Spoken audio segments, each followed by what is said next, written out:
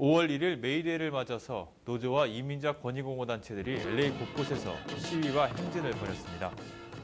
LA시의 동서남북 네 곳에서 출발한 시위대들은 오후 다운타운에 집결을 한 뒤 다운타운에서 대규모 시위를 가졌습니다. 북쪽에서 출발한 시위대들은 오전 8시 밸리 지역 세티코이와 밴나이스에 집결해 밸리 시청까지 행진을 한 뒤 메트로 오렌지와 레드라인을 이용해 유니온 스테이션에 도착했습니다. 이들은 유니온 스테이션 앞 공원에서 동쪽 출발팀과 합류해 2시 30분 6가와 메인 스트릿에서 시위를 벌였습니다. 서쪽 출발팀은 오전 10시 윌셔와 오션 블러바드에 집결을 한 뒤 10시 30분 연방 건물을 지나 2시 30분에 다운타운에서 다른 시위대들과 합류했습니다.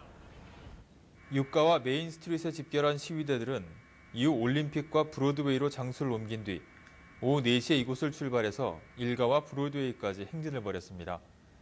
한편 메이데이 시위로 인해서 다운타운 대부분 지역에 극심한 교통 체증이 빚어졌으며 이 지역을 지나는 모든 버스들도 지연되거나 우회 운행을 했습니다.